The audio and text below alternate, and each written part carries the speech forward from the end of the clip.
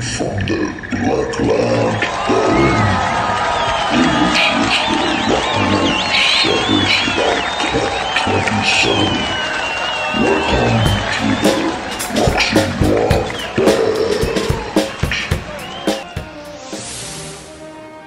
Abend geht es, wie der Name schon sagt, um den Club 27. Die können natürlich nicht hier sein. Dafür begrüßen wir heute viele andere coole Gäste. Und zwar haben wir für euch aus der Schweiz auf den Spuren von Jim Morrison, Dagobert, Moni Condessa und Sina Kempe. Wir begrüßen außerdem Gusto von Ablass für Massenkultur, Martin Schüler und Adam Dunkel sowie Mr. Go und Silke, Frank Münster, Lola Boy und die Band Roxy Noir mit Chris Baker, Leo, Gillian, Terry und Paul. Und ich bin die Melissa. Hi.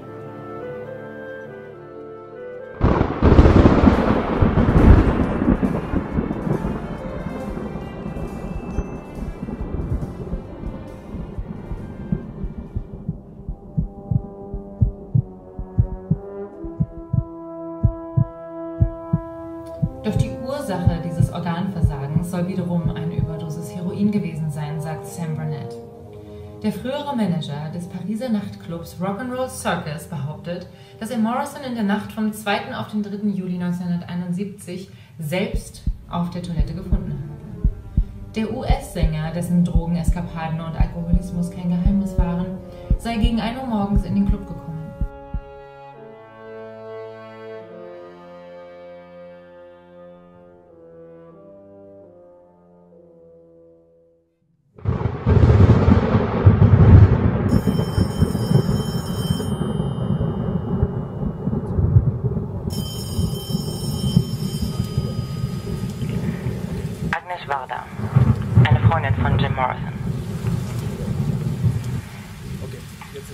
Alain Monet wohnte bei mir. Ich weiß, dass er den Nachmittag des 2. Juli mit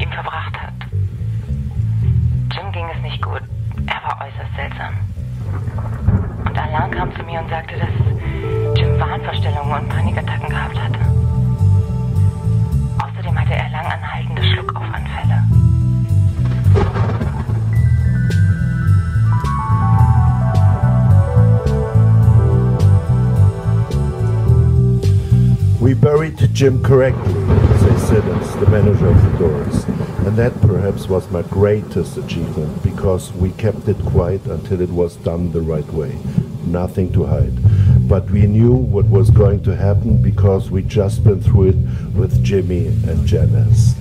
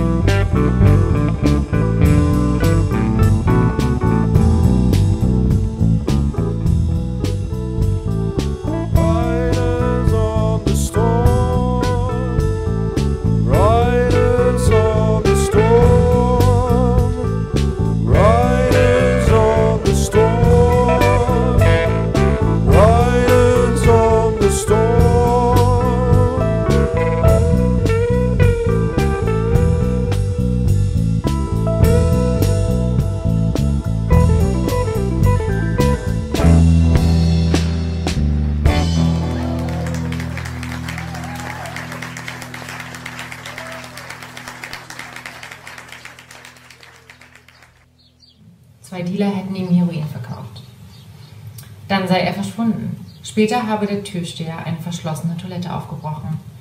Darin habe Morrison gelegen. Burnett sagt, der 27-Jährige sei bereits tot gewesen. Unter unseren Gästen war ein Arzt. Ladies and Gentlemen and everyone in between, herzlich willkommen zu der etwas anderen Lesung und zwar The Rock'n'Roll Circus about Club 27. Ich darf euch begrüßen zum Darkstream Festival in Leipzig und wir sind heute im Blackland. Was genau ist das? Blackland ist ein Metal Pub.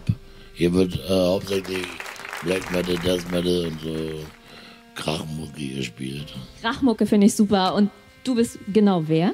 Ich bin Freddy, ich bin der Boss hier von dem Laden. Und was kann man hier sonst noch so machen, außer Metal hören?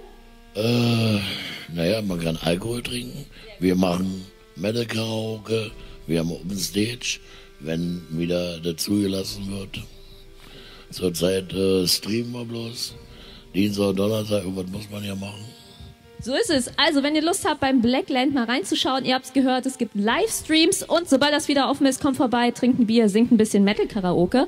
Jetzt geht's aber erstmal los und zwar mit den Doors und LA Woman.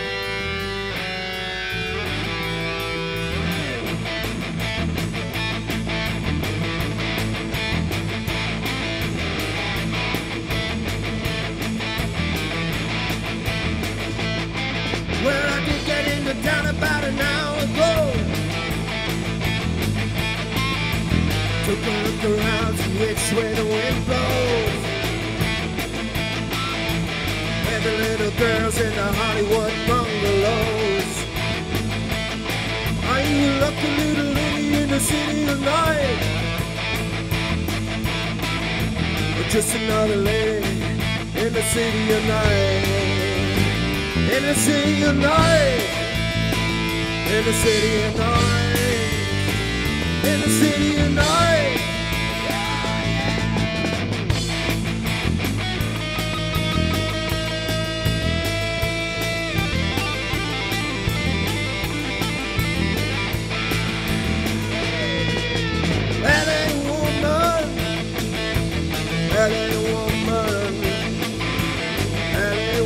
LA woman Sunday afternoon. LA woman Sunday afternoon. LA woman Sunday afternoon. Drive through the suburbs in the young blues. In the young blues, yeah. In the blues, blues, blues. In the young.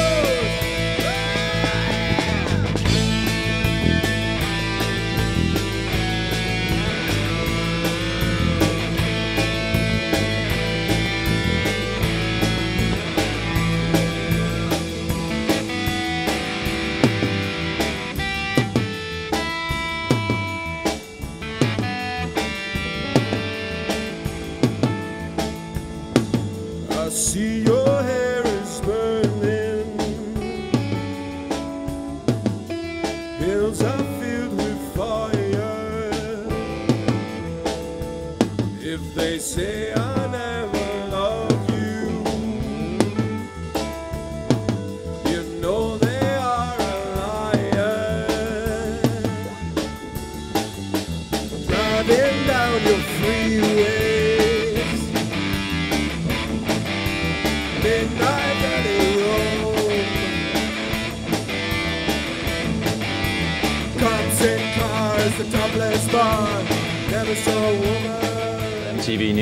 report on a very sad day. Kurt Cobain, the leader of one of rock's most gifted and promising bands, Nirvana, is dead, and this is the story as we know it so far. Als Courtney Love um 6 Uhr früh aus ihrem Prophinol-Tiefschlaf erwacht, liegt ihr Mann Kurt vollständig angezogen auf dem Fußboden. Seine Haut ist wächsern, Blut läuft ihm aus der Nase. Es ist der Morgen des 4. März 1994 und Kurt Cobain, der größte Rockstar seiner Generation, liegt im Sterben. Die Nachricht vom Tod des Cops von Nirvana erreicht Amerika am Nachmittag desselben Tages. CNN unterbricht für diese Breaking News sogar sein Programm. Gemeldete Todesursache Überdosis. Das ist sie, die finale Destination einer Rock'n'Roll-Ikone. So und nicht anders hat er zu enden, der selbstzerstörerische Sturmlauf eines Desperaten. Frau Love, wie geht es Ihnen? Oh, ich versuche gerade den richtigen Floristen zu finden. Schauen Sie sich um. Ich liebe Blumen. Aber Blumen sind zu teuer in Los Angeles. Mein Manager sagt immer, du bist verrückt. Du kannst nicht so viel Geld für Blumen ausgeben wie Elton John. Aber ich muss immer Rosen und Orchideen um mich haben. Zur selben Zeit, als die Medien in den USA einen düsteren Abgesang mit dem Refrain Man hat es ja kommen sehen anstimmen, erwacht die Ikone in Rom aus ihrem Koma. Cobain überlebt, wie er zuvor schon ein rundes Dutzend Überdosen überstanden hat. Die verfrühte Todesanzeige dürfte ein persönlicher Spaß gewesen sein für einen wie ihn, dessen Fable für makabere Geschichten legendär war und der schon ein rundes Dutzend Überdosen überstanden hat. Sie scheiterten in LA und gingen nach Seattle, trafen Kurt Cobain und besiegelten ihr Schicksal. Sie wurden so eine Art Yoko Ono des Grunge. Das war hart. Es war nicht mein Plan. Ich wollte es immer allein schaffen. Und auf einmal redeten alle über mich als die Freundin dieses berühmten Typen. Es war ein komplettes Missverständnis. Glauben Sie, dass Sie beide immer noch ein Paar wären? Absolut. Davon bin ich hundertprozentig überzeugt. Warum? Kurt und ich, wir waren seelenverwandt. Ich bin Einwohner einer Stadt. Gerade ausgewählt, um Prinz von Dänemark zu spielen. Arme Ophelia. All diese Geister, die in dieser das Verhängnis schlitterndere eisernen Kerze. Komm zurück, tapfere Krieger. Tu den Sprung auf einen anderen Kanal. Heißer, verführerischer Pool. Wo ist Marrakesch? Unter den Fällen, dem wütenden Sturm, wo wilde Städten am Spätnachmittag. Rhythmusmonster. Du hast dein Nichts gelassen im Wetteifer mit der Stille.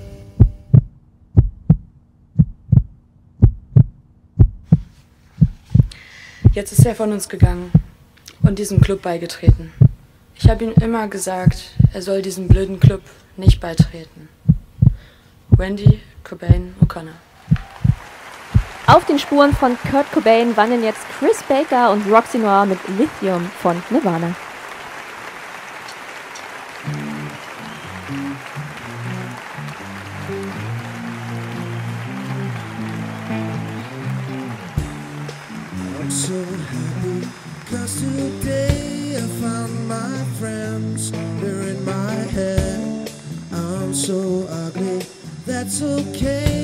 So are you.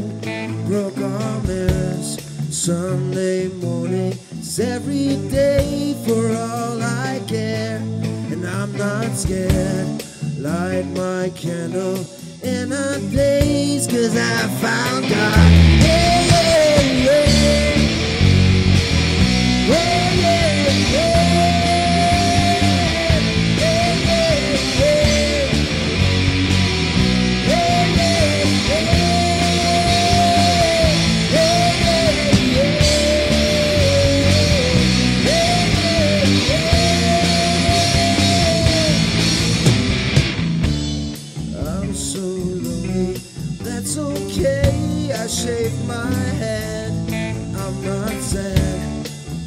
just maybe I'm to blame for all I've heard. I'm not sure. I'm so excited. I can't wait to meet you there. And I don't care. I'm so horny. That's okay, my well, let's go.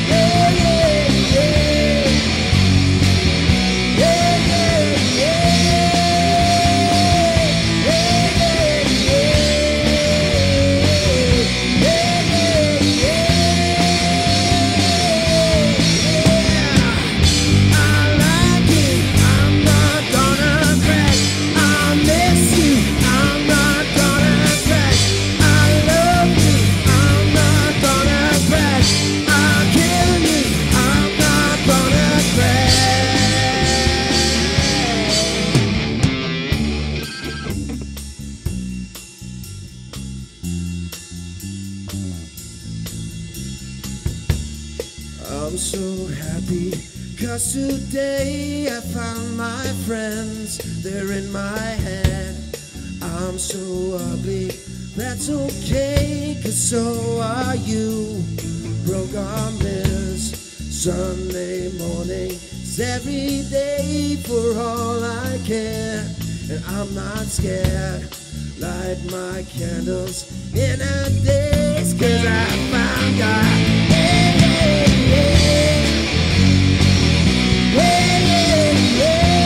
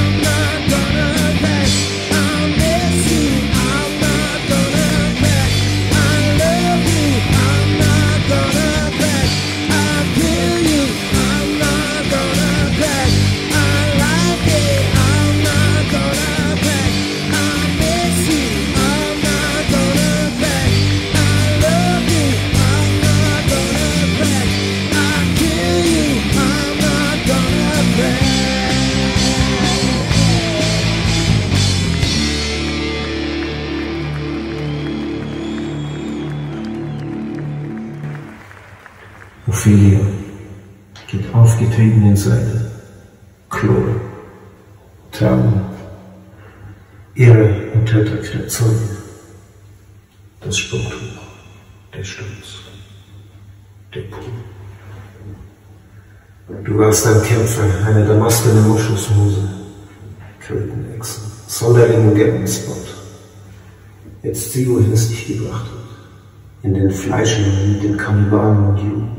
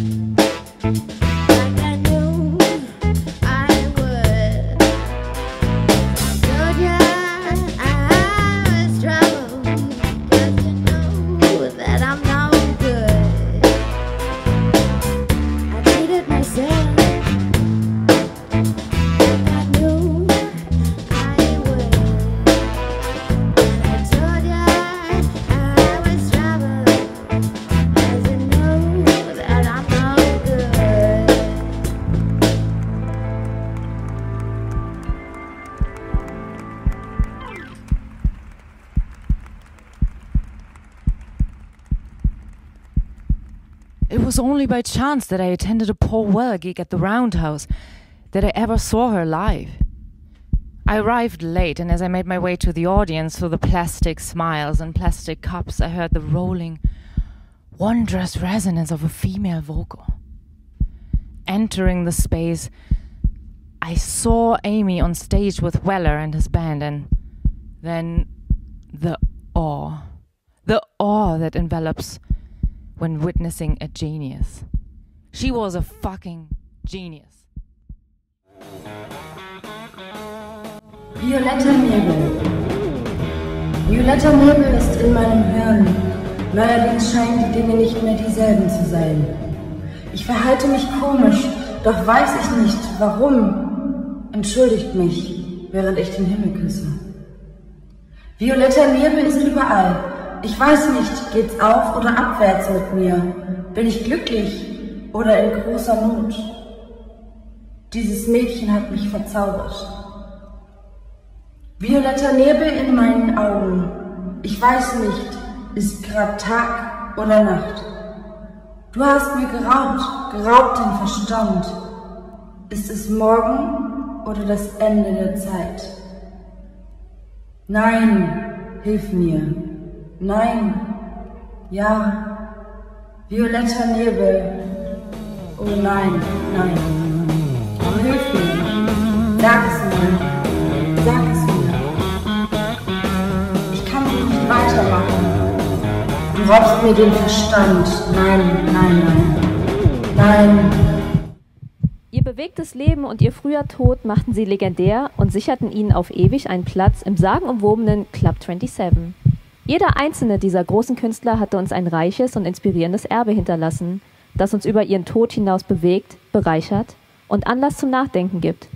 Irgendwo zwischen musikalischer Rebellion und zeitloser Kunst, zwischen kontroversem Genie und der so oft damit einhergehenden Tragödie, die zur Unsterblichkeit führt, lassen wir die großen Namen der Musikgeschichte für eine Nacht wieder aufleben, um ihren Kampf, ihre Ideale und ihr Lebenswerk nicht in Vergessenheit geraten zu lassen. Wieder einmal trifft eine exklusive Melange schillernder Persönlichkeiten des Entertainments aufeinander mit dem Ziel, sie auf eine vollkommen neue Art zu begeistern. Wir sehen jetzt, performt von Sina Kempe mit Roxy Noir, The Gids, Second Skin und Gedenken an Mia Zapata, die mit 27 brutal ermordet wurde.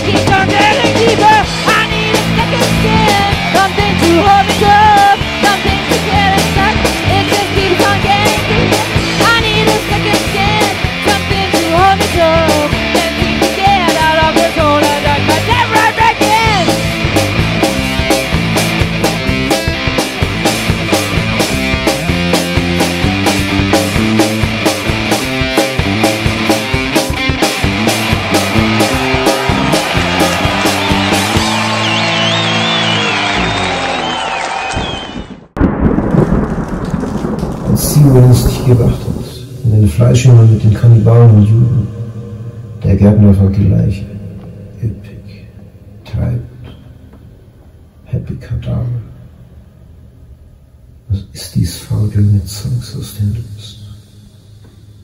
Einstiche in der Göttinhaut. Wird er stinken. Gen Himmel getragen durch die Hammer der Musik. Keine Chance. Requiem für ein schweres Kapitel. Dieses Lächeln. Dieser schweinisch-satirisch verschlagene Blick. Das aufgesprungen ist lämmerlich.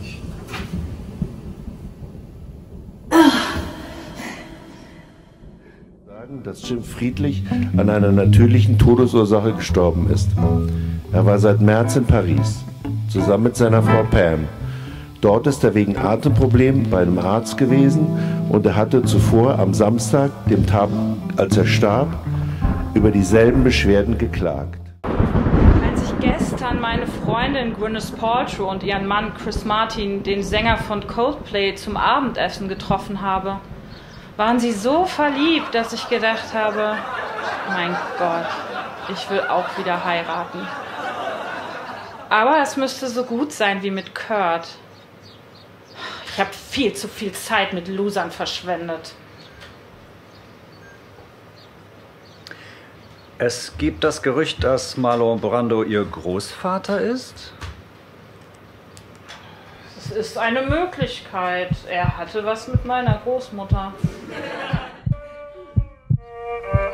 Brian Jones von den Rolling Stones, geboren am 28. Februar 1942 in Shelterham. Nach zwei Polizeiinterventionen bescheinigte ihm selbst ein Gericht, er habe zwar einen IQ von 133, aber schwanke zwischen einem passiven, abhängigen Kind mit einem verwirrten Erwachsenenbild und einem Popidol.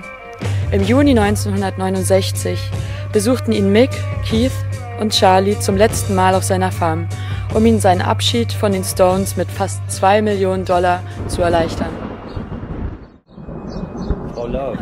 Trotzdem gewann sie 1997, drei Jahre nach seinem Tod, für ihre Rolle in Larry Flint einen Golden Globe.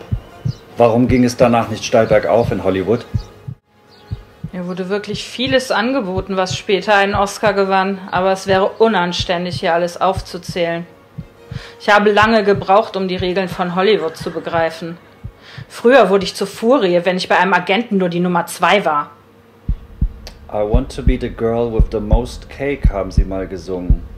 Sie wollten immer das Mädchen sein, das das größte Kuchenstück kriegt. Ich bin nicht Cameron Diaz. Ich zeige nicht ständig all meine Zähne. Das liegt nicht in meinem Wesen. Das hat wohl was mit meiner Lebensgeschichte zu tun. Das Wichtigste für mich ist inzwischen genügend Selbstwertgefühl zu haben, um mit allem umzugehen. Meiner Drogensucht und meiner Sucht nach Schönheitsoperationen.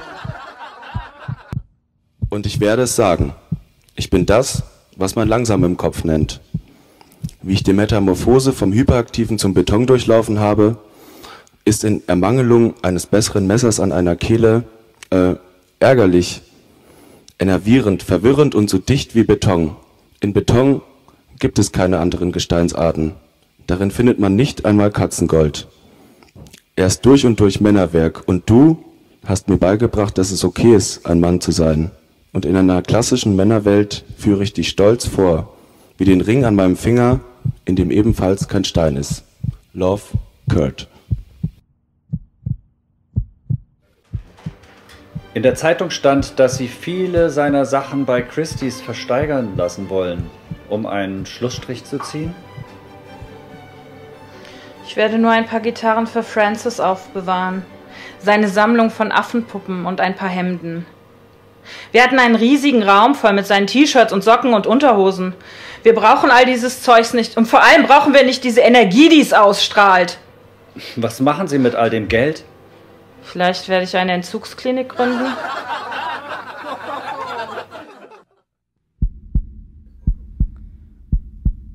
When you love someone who suffers from the disease of addiction, you await the phone call. There will be a phone call. The sincere hope that the call will be from the addict themselves, telling you they've had enough, that they're ready to stop. Ready to try something new. Of course, though, you fear the other call. The sad, nocturnal chime from a friend or relative telling you it's too late. It is impossible to intervene.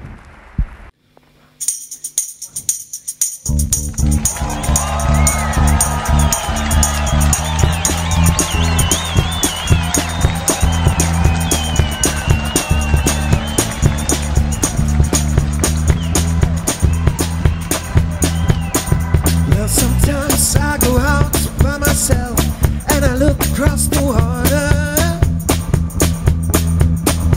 And I think of all the things, what you doing in my head. I paint a picture.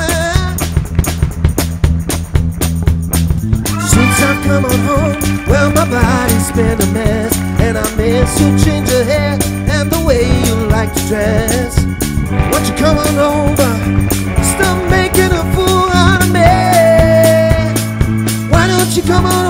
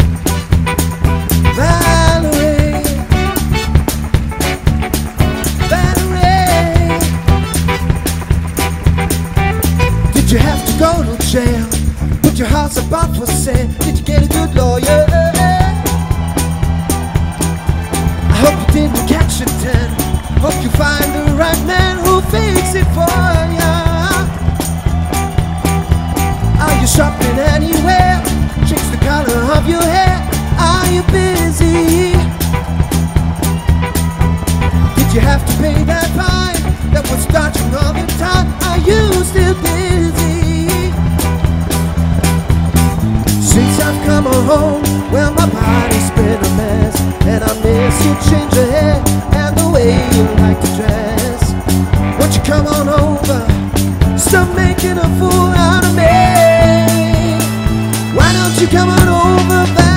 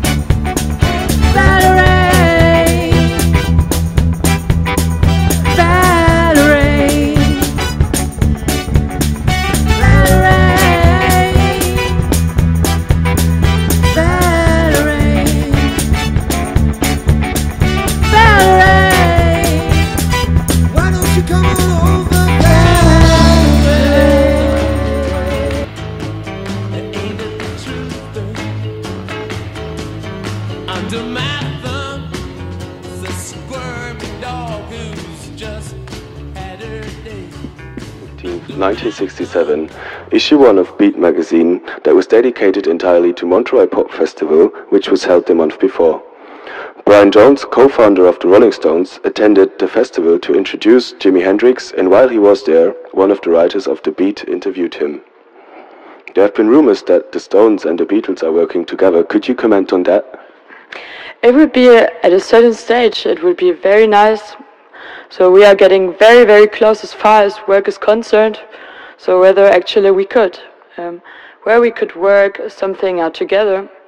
Uh, from one point of view, it might not be a very good thing because our direction is slightly different from theirs. Lack of destruction because of the joining. Up on the two might be lost. Um, that's the only thing that could spoil it, I think. So there will be certainly uh, be schemed. We spend an awful lot of time with each other now, so we've got a lot of mutual ideas. Thank you.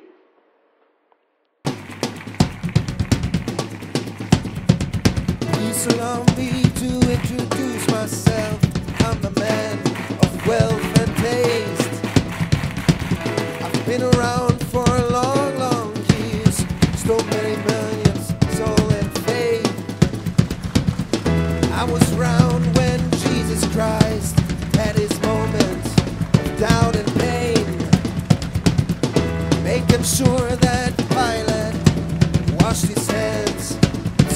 display.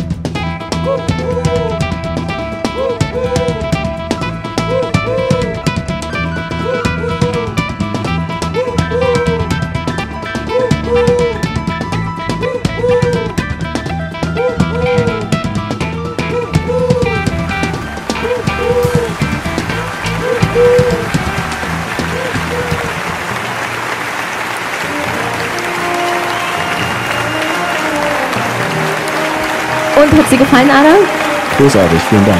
Na, ich hoffe, euch hat es auch gefallen. Wenn das so ist, dann schaut doch gerne bei dem Instagram-Kanal vom Darkscreen Festival vorbei. Lasst ein Like und ein Follow da. Wir sehen uns beim nächsten Mal. Ciao.